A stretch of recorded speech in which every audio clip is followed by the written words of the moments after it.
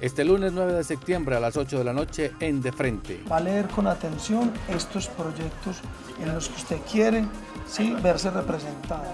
¿Qué pasa con el presupuesto participativo? ¿Cómo va el proceso de escogencia de los delegados? ¿Qué impacto tiene el decreto reglamentario 1205 de 2013?